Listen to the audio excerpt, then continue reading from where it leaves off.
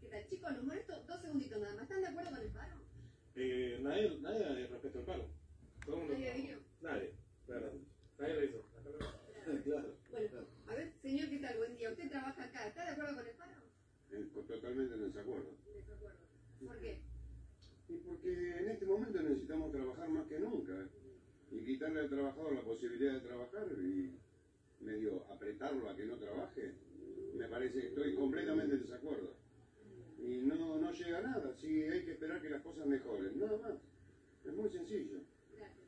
Por favor, no Bueno, creo que es la, es la opinión de la mayoría de Sí, los comerciantes que tuvimos déjame, que me voy con Lucas Jerez, que está en Liniers.